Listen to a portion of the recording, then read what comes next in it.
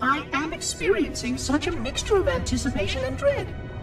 All preparations are complete for my installation.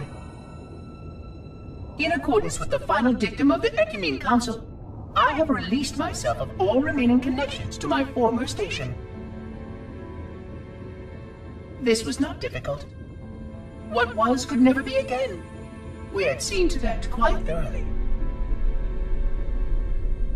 Prior to my final journey through the Great Portal, a gathering of my fellow monitors was convened upon the Lifeworkers Cratch to distribute the final index collection.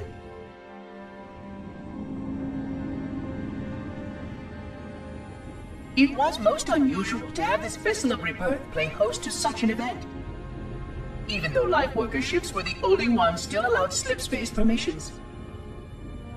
Lifeworkers were responsible for getting us to our places on the active facilities of the array. While all of this was in accordance with the plan, one entirely unsatisfactory breakdown remained. We had no contact with the domain.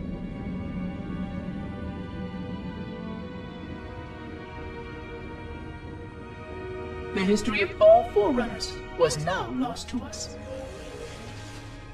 We relied upon the permanence of the domain to preserve our record of the events that led to this point.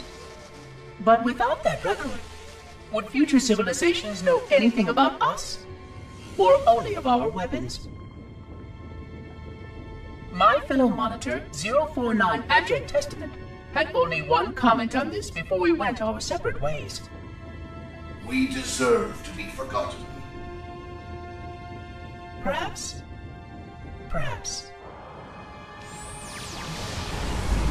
Now, the portal opens, and through it, the familiar shape awaits. Halo. Home.